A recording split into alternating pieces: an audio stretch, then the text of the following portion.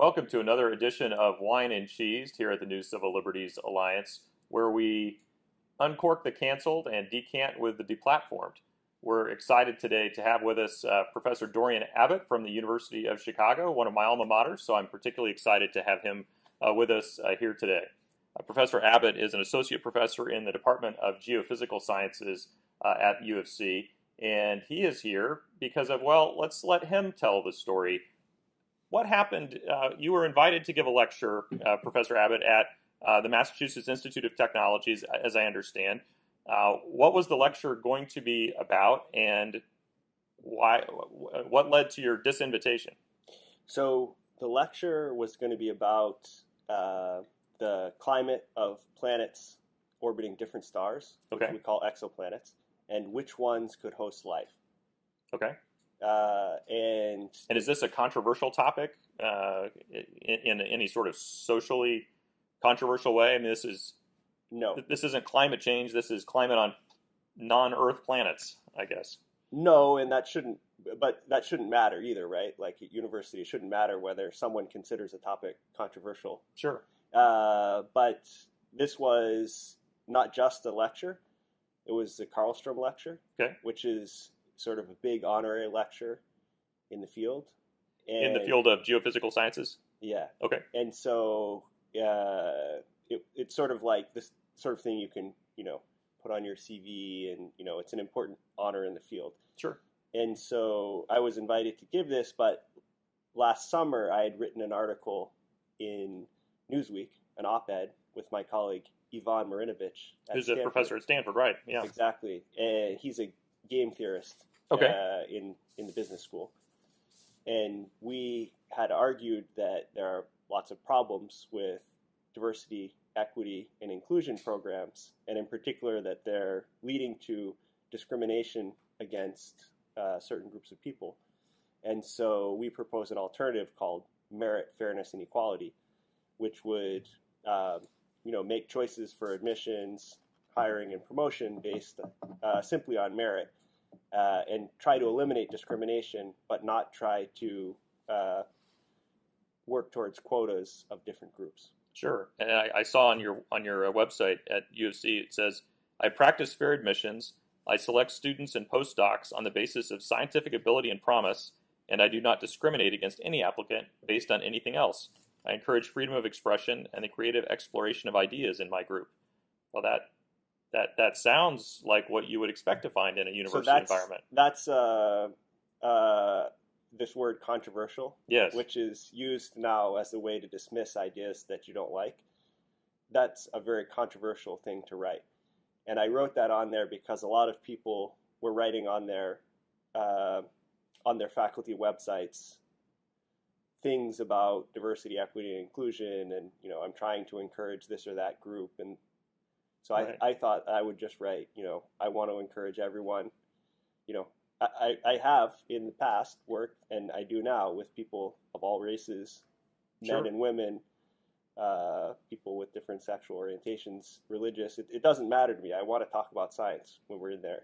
Well, you say you practice fair admissions. Presumably, that means you're not discriminating based on gender or race exactly. or sexual orientation. Yeah, you know, whoever you know, uh, I'm I'm choosing students and postdocs based on their scientific ability. My the best as best I can assess it. Of course, it's difficult to assess someone's scientific ability uh, in the future based on an application. Sure. Uh, it's not something that you can predict with 100% fidelity, but you can. There are metrics that we can use to do this, and there's a whole psychological literature on how to do this effectively, and it's mostly being ignored. For example, the best predictor of success uh, in in uh, undergraduate and graduate education is generally uh, a test scores. Okay. And those standardized are tests. Standardized or? test uh-huh. scores, and those are being eliminated because people don't like, you know, I guess what the data that they generate. Exactly. They don't yeah. like the data they generate, but that doesn't mean it's not an effective way to select the most meritorious students. Right. So uh, I take it that you were disinvited from the lecture uh, at, at, MIT. How did that come about? Was it was it professors at MIT who were No, Uh, so or, there's- or well, actually, let me take one step back. Yeah. Who who invited you to give the John Carlson lecture at MIT? Is that something that's decided by the faculty there, yes, or yeah. So Dan Rothman and Kerry Emanuel are faculty there, and they're the I don't know exactly the internal selection mechanism, but they're the ones who contacted me and invited me. sure? And So the students aren't involved in selecting far as I know, the students this are not prestigious involved. lecture. but it's important for people to understand that there's there's sort of an algorithm that's followed in cases like this. And so what happens is the the political activists they use Twitter as a force multiplier.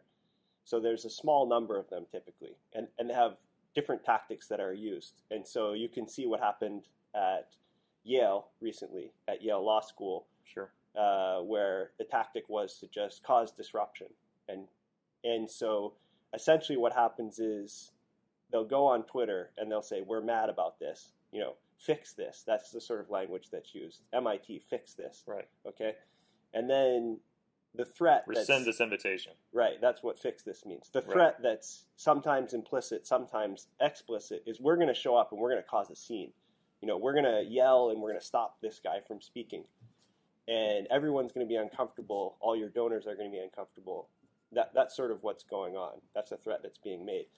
And it's a force multiplier because it, it's usually a small number of people who are doing this. So in my case, it was maybe a dozen people Hmm. on Twitter.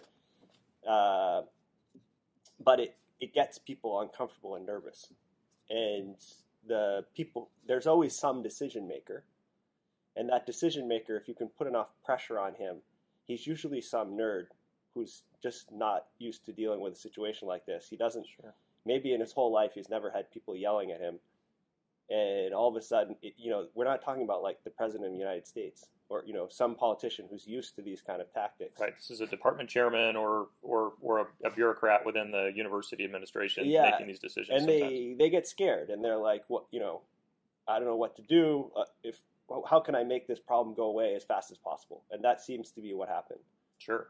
And so the uh, uh, you're you're disinvited. How does that conversation come about? Do they well do they, so do i they knew tell you you're being disinvited because there's been a student protest and 12 people on Twitter have have suggested that uh, they're going to you know, make a ruckus if, if yeah we go so i mean how, how it happened was the department chair you know like he he said he wanted to talk to me on the phone. Okay so i knew that there was this stuff going on. Sure. so it was after they announced it this stuff started on twitter and a week later he said he wants to talk to me on the phone. So i thought he was going to say look you know we really value academic freedom at mit and we know that there are these people causing problems and we've explained to them that if they disrupt your lecture they face the following consequences. But it may be rowdy. it could be rowdy and you know this you know just just be ready for it uh, but you know we're 100% behind you. We know that you're uh,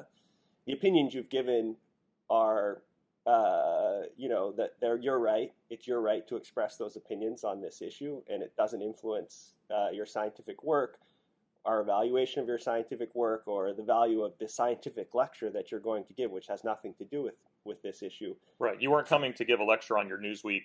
Uh, yeah, I mean, op-ed. of course, I wasn't. But even if I was, if, even if I were, that it wouldn't have been appropriate to cancel that lecture in an academic context. Yeah. It's important to emphasize that. But no, I wasn't. It was. It was. I was coming to give two scientific lectures. One, this one about uh, climate on different planets, and the other was about planetary dynamics, like you know gravitational interactions and it turns out, I mean, this is kind of an aside, but it turns out that there's a 1% probability that Mercury's orbit will become unstable in the next 5 billion years, and it will hit another planet or it'll hit the sun. And so I was doing some calculations related to that, but just weird esoteric nerd stuff. And, Right, so- and so I thought that's what he was going to say. But and so we had a nice little chat, and then he said, "Oh, and you know, like we decided to cancel the lecture." And Which had already been delayed once, right? Because of Because of because COVID. of COVID. and so I just was kind of like, So, so in other words, you were invited. You hadn't at the at the time you were originally invited. It sounds like if I'm following this timeline, this op-ed had not been written in Newsweek at that point. no, that's So- possible. I wouldn't have even been invited. Well, so that's the that's the issue that we can talk about in a second. sure. That but keep going. Well, I was just going to say. So then you write the op-ed, then they reschedule the lecture. Yeah. Then uh, there's this protest uh, led by a small group of, of students, and then the Yeah. reaction to that is to take the path of least resistance and, and disinvite you. Yeah, and so and so when he said that, I was kind of in shock because I just didn't think that that would happen at MIT Sure. of all places. You know, like they're supposed to be, and they It's are. They are Nerd te- Central, right? I mean, yeah, and they are, and they are, and, and I really respect the science that people are doing there. And actually, I'm going to visit there in a month to give, you know, another a, a lecture that they say that you know I, we assume it's not going to be canceled this time. Right. Uh, but and the faculty there are doing great research, and there's tons of great graduate students there. So I just didn't expect that, and it and that that was pretty much how it went down. I just said, Sure. as long as you don't t- imply to anyone that I agree with this decision, you know, you, it's your lecture, so I guess you can cancel it. But Right. Well, well, let's let's talk about this academic culture that uh, that has led us uh, to this place. Is this is this something that you have seen brewing for a while? Is this something when you were a graduate student yourself, for example, was this was this phenomenon something that was happening on campuses that that you saw in the science, at least in the scientific no, field? there was nothing like this happening when I was a graduate student. Uh, now, the ideology that's behind it was developing. So, I was an undergrad from 2000 to 2004, and you know this social justice or woke ideology was active in like a gender studies department, and I heard people talking about it a little bit, and it was just like funny. You know, n- nobody took it seriously. right over here in the geophysical sciences, we're not.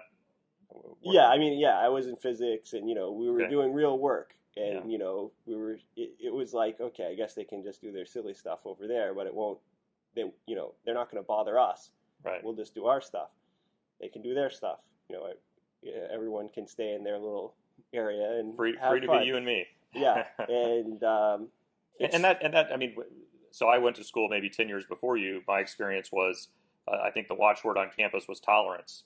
Yeah. and it's just well, and and when that word was used, it was typically tolerance of fairly ex- what. Uh, Yeah. So I grew up in Kansas. What Yeah. where I grew up would have been considered fairly extreme liberal views. yeah. Is what we were all being encouraged to tolerate on campus. Yeah. Well, these words have all they don't have the same meaning anymore. There's these funny games being played with words. So, for example, tolerance now means to restrict the expression of people that you think might uh, their expression might bother someone else. That's what's called tolerance now. Hmm. And so it, it, it's twisted to mean the exact opposite of what it used to mean. A kind of newspeak. Yeah, but the thing is that then people say it, and then it tricks people, other people who believe in the in the traditional meaning of tolerance. So all of these words they do that with diversity, equity, inclusion. It's all being done. So diversity, for example, so this word is being used, but eighty percent of, politi- of the political spectrum is being excluded. Right. So it's not intellectual diversity. Right. So the you know if you look at the typical the social sciences say if you you know people have done, like Lee Jussim is a, a social psychologist at Rutgers who studied this issue, and that number eighty percent is I didn't just pull that out of a hat. Like th- this is his actual number that the the faculty in the social sciences is composed of 20% of the political spectrum. There's more people who identify as Marxist than who identify as conservatives, uh, which is a shocking, since 50% of our population identify as conservatives. There's more Right. people who identify as Marxists than as conservatives. A center left liberal is considered right wing. And so, under this, the guise of diversity, 80% of the US population is being excluded. And so that all of these words are are twisted in odd ways. Well, skews the perception on campus. I mean, to come back to the word controversial, something that, that is controversial to the uh, the, the particular uh, twenty percent of the population that you're saying is found on campus wouldn't necessarily be controversial if the campus were more uh, representative of the hundred percent of society. Yeah, exactly. And so I think in terms of sort of long-term drivers of this, you know, academic cancel culture we talk about, probably the most important one is the um, is the lack of political diversity. And so, you know, I mean, like for example, do you know what the dispute at Yale was actually about? Why the students were so mad? I I read a story at the time, but I don't remember now. I know Yeah. that I know that uh, uh, ADF was had come right, and I think that there was there wasn't there someone from Americans for Separation of Church and State who was also So it was a part of the same discussion. It was a discussion. There were two speakers, both in support of free speech. It was a discussion of free speech. Two speakers. One of them was more from the left, and one was more from the right. The one from the right, my understanding of what the dispute is, has advocated for traditional marriage. Right That was it. has that been was- has been the uh, the, the lead uh, public interest litigation firm pushing Yeah. So that was That that was the controversial thing. right. Now, you know, in most of the country, people might disagree on that, but that's certainly not a controversial position. That's a position held by close to 50%, if not Right. 50% of the US population. and probably a higher percentage among married people. Yeah, exactly. and so this was considered enough to like cause a meltdown that the person shouldn't even be able to talk about free expression. Right, right. That view isn't even welcome, Yeah, uh, and they weren't on campus to talk about traditional marriage. They were on campus to talk about free, Free expression, expression. which makes it particularly ironic what it does. happened. Yes, But so the point is that I think that's the main driver is that it's uh, a fish swimming in a sea of left wing ideology. And uh, so there's the peanut analogy that uh, Jonathan Haidt makes. Do you know the uh, peanut analogy? So he loves this story in almost every talk he gives. Do you know Jonathan Haidt? I do. yeah, in, in almost every talk he gives, he tells this story that. Uh, so there, you know, when you were a kid, did you ever eat a peanut butter sandwich? Sure. Now you can't bring a peanut butter sandwich to school uh, because someone might have a peanut allergy. It's uh, and everyone's you know like super super worried about peanut allergies. Do you have any children? I do. And have you heard about the peanut allergies and stuff? Oh yeah, for sure. They weren't allowed to do that. Uh, chocolate. You weren't allowed to bring chocolate as snacks uh, to uh, uh, you know to, to any sort of holiday parties in Because someone might elementary school. Someone might be allergic to chocolate, or Yeah. or it wasn't fair for the child who couldn't eat chocolate for the other children to eat chocolate in front of that child. I've heard that excuse as well. But it's interesting. Uh, but anyways, so Haidt talks about the this Israeli study, and so they have this Israeli food, uh, like a snack food, that's corn puffs with peanut powder on the outside. Okay, so they take some number, I forget the exact uh, number in the study, of uh, babies that have been genetically identified to have a high risk of developing a peanut allergy because there's certain genetic markers that are clear and that you know are tested for. Okay, and they take uh, they take half of them, and they follow the normal advice, which is don't ever expose your child to nuts. Don't eat nuts yourself because it could get into the child through the milk, uh, and basically keep nuts completely out of this child. The other one, they say, uh, give the child this eat nuts yourself, and give the child this peanut snack on this schedule. And the result was, I forget the exact numbers, but a large fraction of the ones who followed the traditional advice were determined to be allergic to peanuts at age five, and a very small fraction of the ones who ate the peanut snack were determined to be allergic at age five through the traditional test where, you know, like they right. expose you or whatever. And so the point is that if you uh, are never exposed to peanuts, you're much more likely to have an allergic reaction, a meltdown, which is what happened at Yale. They had an allergic reaction.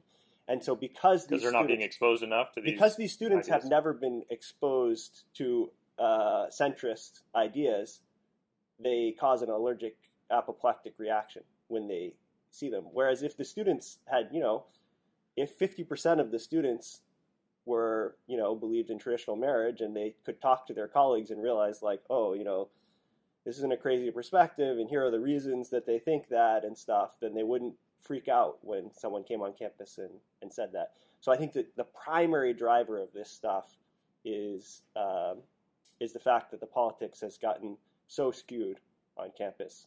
Sure.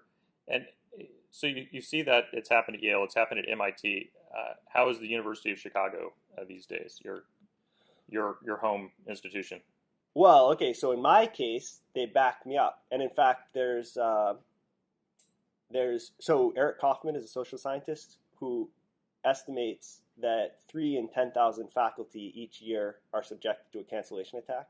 Three in ten thousand. I would have Three in thought higher. Yeah, and so three in ten thousand, and that means there there's an attempt to deplatform them, to have their papers withdrawn, or to get them fired. Okay. And so, if a typical large university has about thousand, a couple thousand faculty, that means every few years you would expect one to have a cancellation attack. These are large, prominent cancellation attacks. Okay, and so uh, the important point is that has a huge and outsized impact. So everybody A sees those. effect. Yeah, everybody sees those and gets scared, and that's why when you ask students and faculty, so many of them say they're self-censoring. It's usually 50 to 80 percent, depending on the exact survey. Sure. It's, but it's only three in 10,000 who suffer a cancellation attack. And there have been four in the past 10 years at U Chicago. Uh, Maestripieri, Dario Maestripieri, uh, Rachel Fulton Brown twice, Harald Uhlig once, and me twice. And so that's I'd six add, in 10 I would years. add Jeff Stone at the law school. He he, he had a he had an The- episode here. the last, N-word yes, thing? exactly. Yeah, but he never actually had a cancellation attack. Okay, He just agreed to do what they wanted him to do. gotcha. Uh, Stop stop using the word in his lecture. Yeah, Yeah. exactly. And so, uh, so anyways, of those people, all of them are still on the faculty. So that's better than a lot of places. That's a that's a good sign. That's a good starting point. Uh, but w- sort of how they fared is different. You know, I feel still supported by the university and you know, like at least tolerated. There's a lot of people angry at me, but they haven't tried to really come after me.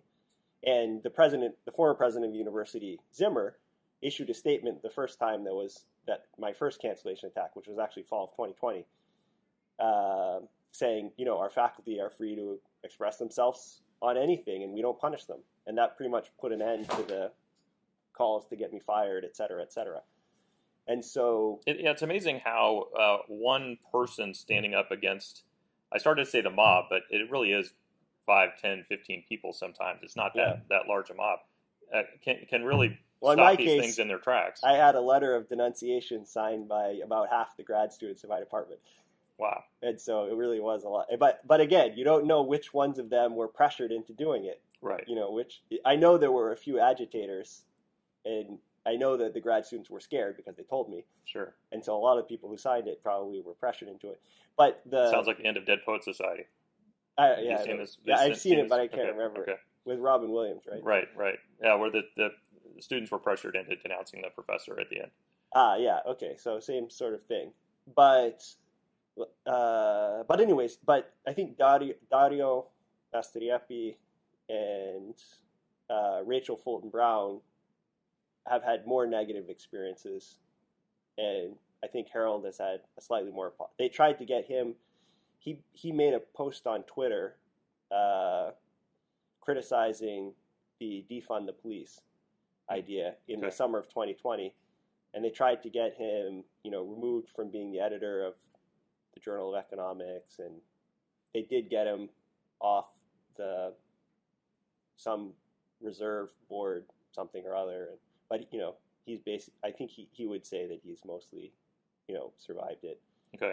So Still- so still U teaching, Chicago has been in you know better than most places, let's say, but not uh, not uh, fulfilling its obligations. And so for so we have the Chicago Principles, which most people have heard of. Mhm. Uh, this is from a report actually chaired by Jeff Stone, who you mentioned, Mhm.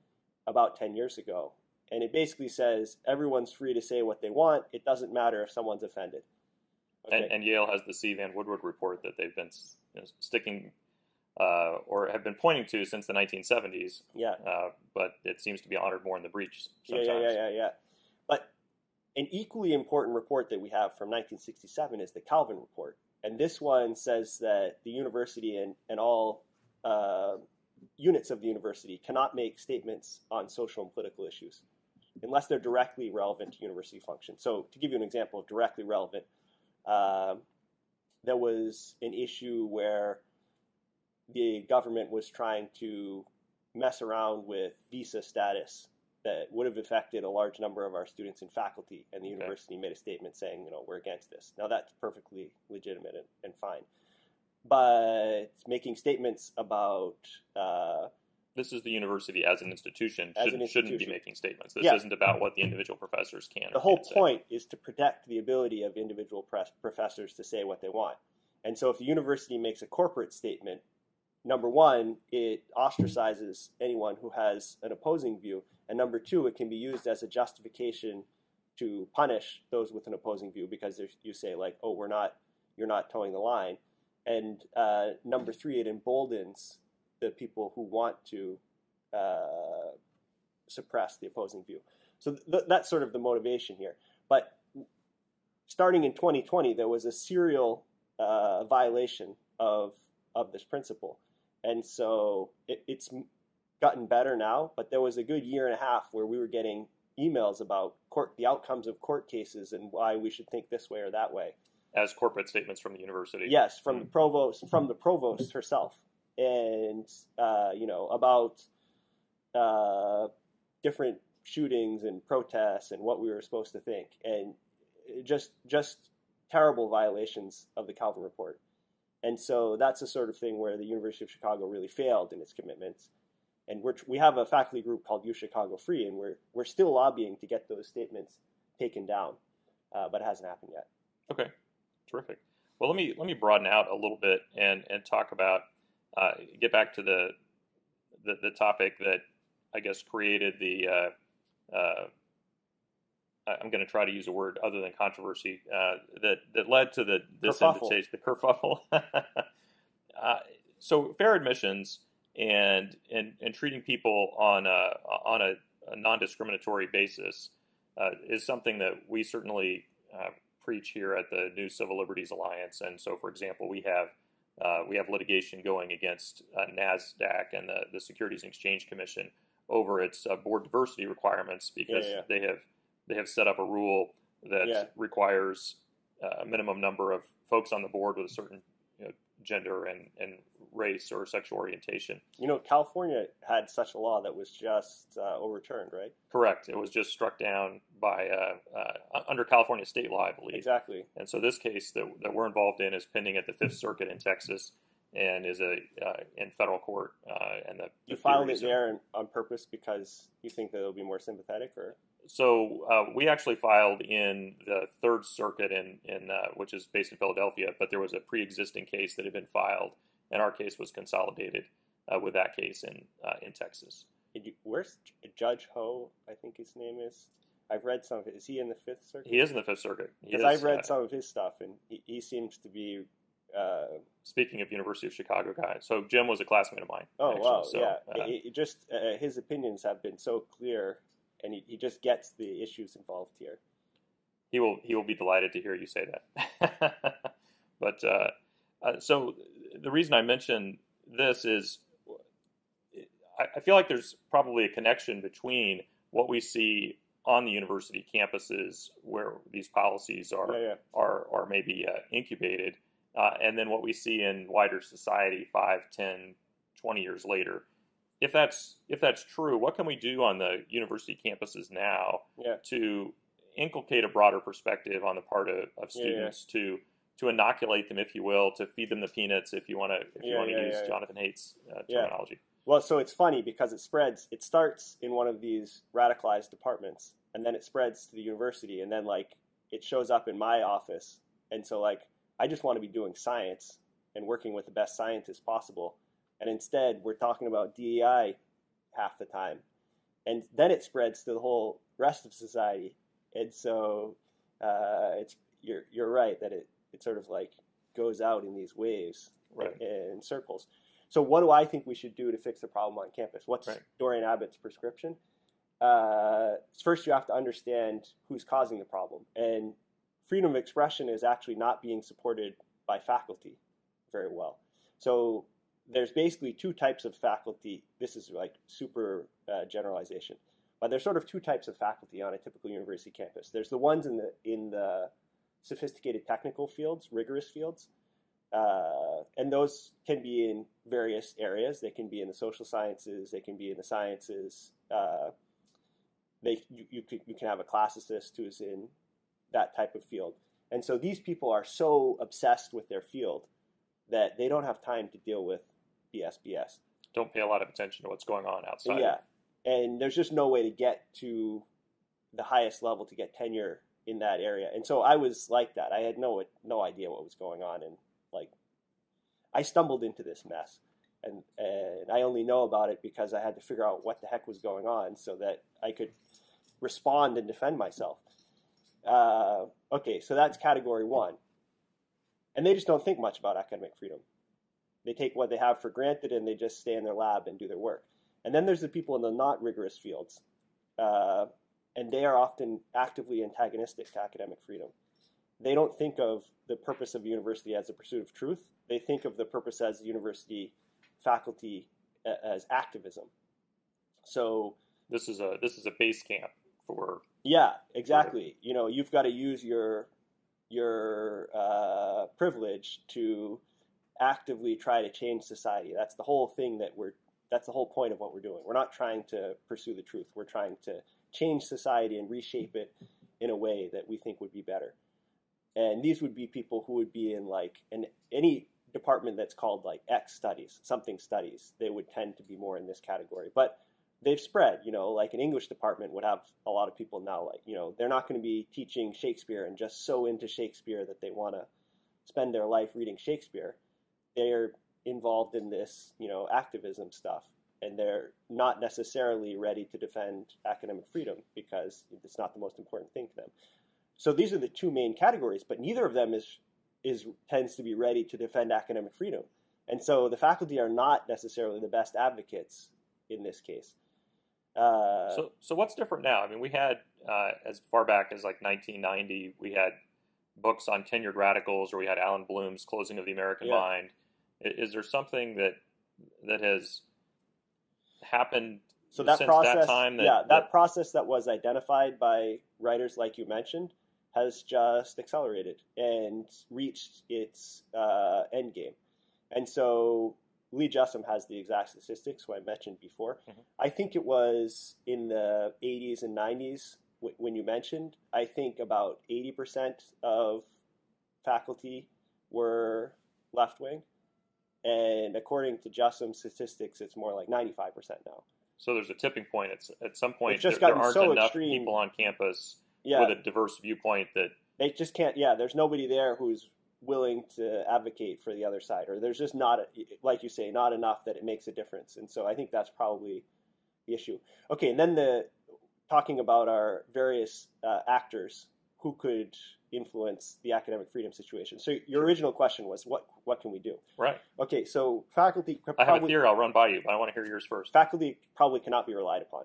Okay. Uh, well, that's discouraging because, the, if anything, I have to think that the administrators at the university are even right. further so point left two, than the faculty. Point two is the administrators. Their uh, interests are often not aligned with the supposed interest of the university, which is the pursuit of truth.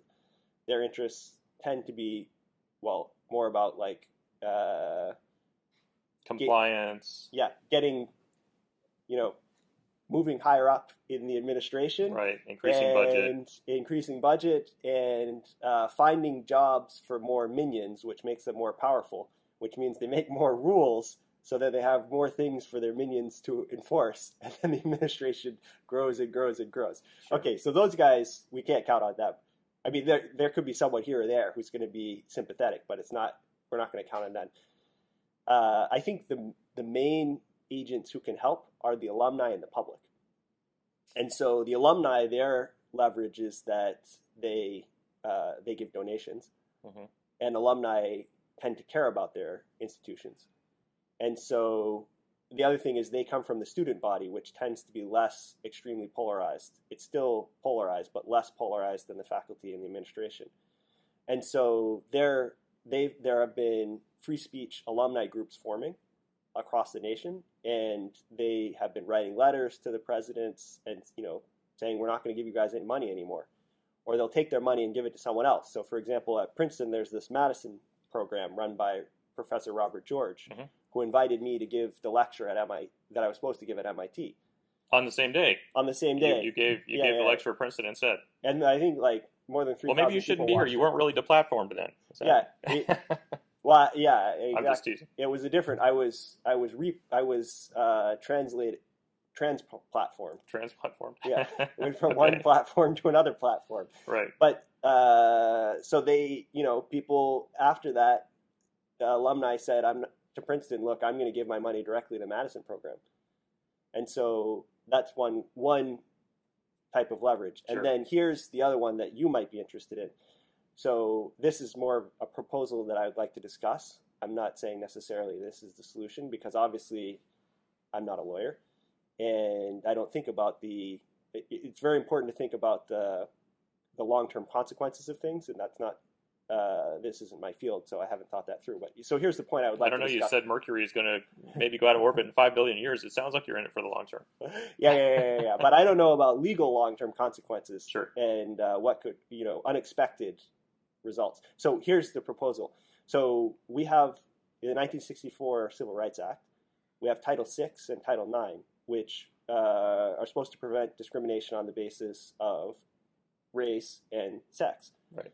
Uh, and so any institution that takes federal money, either through uh, scientific grants or uh, tuition, has to, uh, as a condition, they have to be compliant with Title VI and Title IX. So my proposal is that we have some sort of legislation that says you have to ensure academic freedom and you have to uh, ensure political neutrality. You can't make political statements as a university in order to receive federal funding. Now, this the reason that I'm worried about that it might be a bad idea. So the reason it's a good idea is because most of the public would support something like this from both sides. And but the reason here's the reason I'm worried it's a bad idea. So what if you have the guy who's appointed by the government to certify that the university is upholding academic freedom, who's actually a left-wing ideologue and antagonistic to academic freedom? And so that's Sure. and so how do you ensure that such a situation doesn't arise? And so anyway, so what do you think about that idea? Well, I, uh, I think that I could imagine it working better at the state level. So if you're talking about your flagship state universities, uh, typically the uh, those universities get a fairly substantial amount of their funding from the state legislative Sure. process, and the state legislatures, uh, almost everywhere you go, uh, tend to be a fairly good reflection of the of the population But because that's the nature of the it's the, system, right. yeah. That's the, it's representative democracy, right? So there may be some states, and I don't know where Illinois would would, would fall on this uh, spectrum. There may be some states where the flagship state university would be able to persist in this sort of uh, far left liberal, uh, uh, non-diverse, non-academically diverse, non-ideologically diverse position. But I think in a lot of states, if the state legislature really took an interest and said, "Look, you you cannot continue to have a one-sided perspective," Yeah. uh, that that from a funding standpoint, the universities would be forced to, uh, to have different hiring practices, have different uh, neutrality practices, uh, as you're talking about. I think that there's less risk there uh, because there's so much responsiveness on the part of, of elected officials. I think it's trickier when you, and one of the things we worry about at the New Civil Liberties Alliance is empowering bureaucracies, empowering yeah, yeah, yeah. That's why I administrative- asked you that question. agencies. And uh, But see, that's a real leverage because the the public is funding. You know, like the reason U Chicago can exist the way it does is because of public funding, right? We would have a totally different business model if we had to depend entirely on student tuition. sure, And so the public should have some say. and a different admissions model if you had to depend entirely on, exactly. on tuition. Yeah, I mean, oh, okay, I guess you could still have donate, you could still have the endowment and whatever, but Right. but it seems to me that the public, it, you know, they the public thinks that they're funding universities to deliver on you know increasing knowledge and educating students, and if they're not doing that, then the public should be able to say, well, you know, that's fine, you can do your thing on your own, but we don't want to pay for it. Right. No, I think that's right. There, if there's no public benefit to the kinds of research that are, that's being done, or the kind of of, uh, uh, of education that's being given out, then the reasons It's to worse. support it It's are. worse. And when we have a what twenty some trillion dollar Yeah. uh, deficit, It's worse than no benefit. Like you pointed out, all all of these terrible ideas are spreading out of the university. it's So a detriment. you're fu- sure. you're funding something that's destructive to society, and it seems like seems to me that the public should be able to in some way influence it. But I don't know what the instrument is. If you don't like my idea, do you have another idea for what sort of instrument could be used to affect that solution? Well, I think that if you if if the state legislatures uh, were to exert more influence over the flagship state universities, I think that there would be a, a knock-on effect to, to the private universities as well. If you because I think students actually would be attracted to flagship state universities that, that had a more Yeah, yeah. intellectually diverse viewpoint. There would be more competition for those students, and then I think private universities would would, from an admission standpoint, say, well, if we're going to lose talented students to universities that are actually preaching intellectual diversity and, and living by it, then we may need to change our way of doing it as well. Maybe that's uh, Pollyanna-ish to think that that uh, would happen that way, but Yeah, I, I have more confidence in that than I do in a federal bureaucracy dictating anything to uh, to private universities. Yeah. Uh, but let me ask you: uh, I saw in one of the articles that was written about uh, about your experience that your your wife is from uh, Ukraine, yeah, yeah, yeah. and and she had a particular perspective on on what what happened. Is that something you can share with our audience? Yeah. So, uh, well, I'll, can I tell a few stories? Sure. So when I first met my wife, uh, she showed me a picture of her mother. Her mother's a teacher, and two colleagues. And it it was like there's a day in Ukraine where every, all the children bring flowers to the teachers, and so they were each holding flowers, and they were scowling at the camera. And I said, "Why aren't they smiling?" And she said, she looked at me like I was crazy, and she said, "No one who lived through socialism smiles." And so it turned out that was a little bit of an exaggeration, but in public it's true. It's much more true. So people who lived through socialism don't tend to smile in public uh, because they're scared of, you know, who knows what could happen. Like, Right. you know, like someone What's might, lurking behind that smile? Why Yeah, are you happy? What are you What are you getting away with? yeah, exactly. And so, but she does smile at home and make jokes and stuff. Uh, so that sort of, she was born, my wife was born in 1989 at the tail end of, of the socialist system. But even so, they were still persecuting. So she was baptized in secret because her mother would have been fired. So the priest came to her house. Her mother would have been fired if they knew that uh, she was a Christian. Right. And so there was repression all the way to the very end. And then, you know, when just like other random stages about Ukrainian democracy, you know, my my wife they, they pay you to vote there, or at least they did when she was there. Mhm. And so uh, she took the money, but then she voted for who she wanted to vote for. And her mother was really, really mad at them, at her. And she said, They're going to come. They're going to count the votes in our village, and they're going to come punish us all if the votes don't match what they paid for. And so it kind of gives you a sense of, you know, Mm. what uh, what it's like to live through. That didn't happen, but what it's like to live through that sort of system. Sure. And uh, so, anyway, so when I started telling her about what was happening, uh, you know, what I was observing, she said, That reminds me of what my mother told me about Soviet times. And I don't know, it just that had a big effect on me. Like that, that we can't have that here. You know, if that, if someone who's so close to that experience, if that's the first thing she thinks of, we we got to do something about this. So that really inspired me to say, to speak out about these issues. But then when I first got in trouble, I thought I might get fired. And so I told her that. And she said, You know, I know what it's like to be hungry and not have enough food to eat. I know what it's like to be cold and not have warm clothes. And I'm not afraid of that in this country. I'm with you, whatever happens. Just, you know, say what you need to say. And so that's when you have that kind of support, it's much easier to uh, you know, go against a a system that is, you know, you, feel is unjust and that you need to say something about.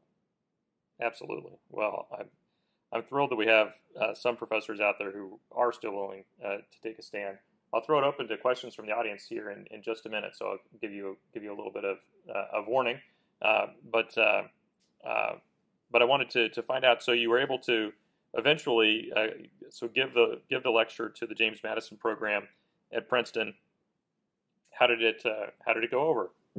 Well, it was fun. It was just, you know, science is supposed to be fun. It's not supposed to be this, you know, stupid fight. The students at Princeton didn't converge in mass and No, shut, well, it was on it was on Zoom. Okay. So, but uh, everyone, you know, like everything's not supposed to be politics. There's different parts of life, and you know you should be able to go have fun and do science with people that you disagree with about who should be the president.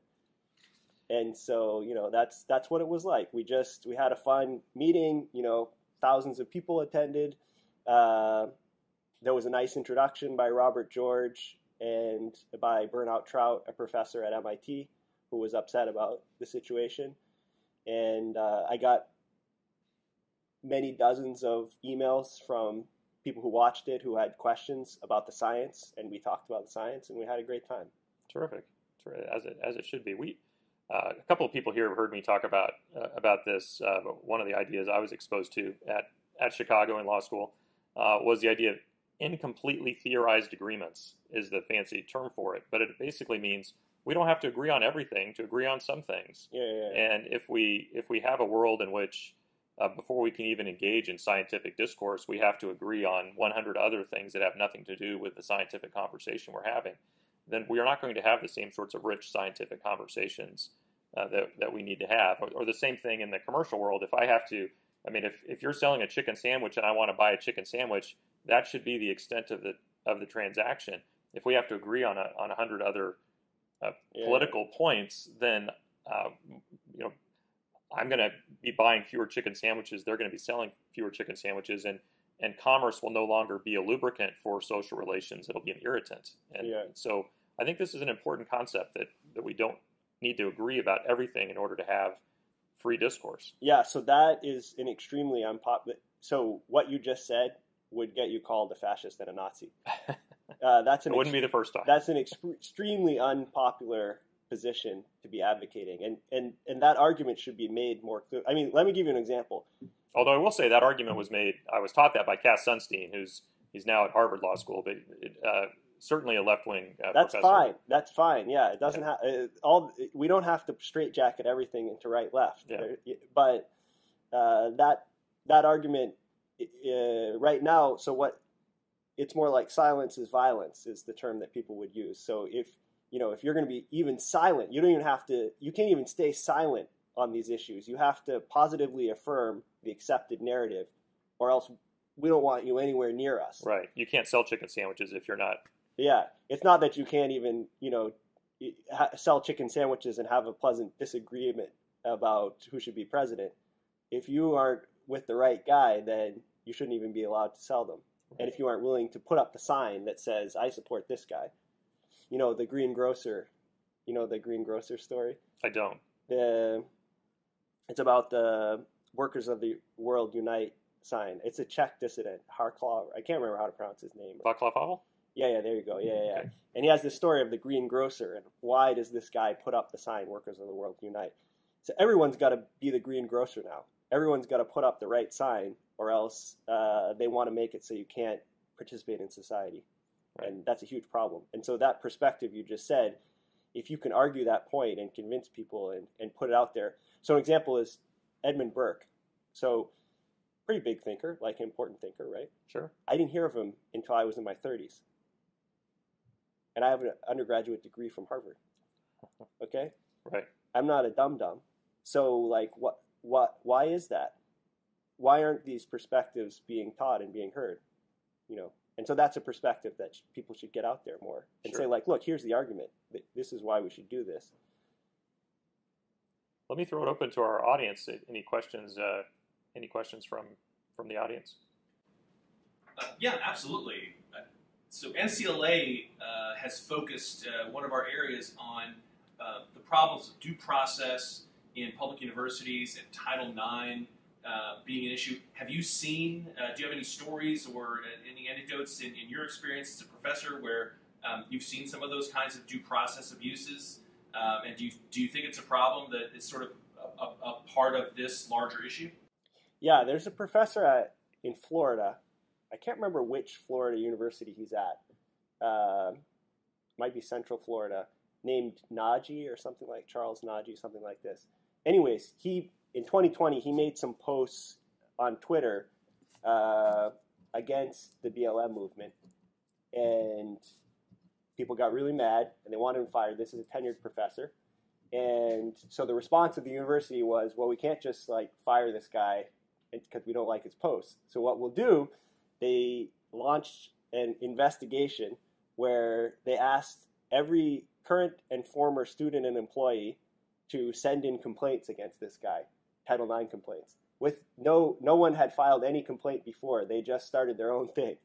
And they fished up a couple and it was things like 10 years ago you said something in class that I didn't like, okay? And like, you know, he can't remember what happened in that class. And the thing that you said that I didn't like, it may have been completely innocuous 10 years ago, but now we can reinterpret it through this new interpretive lens and we can make it into a Title IX complaint.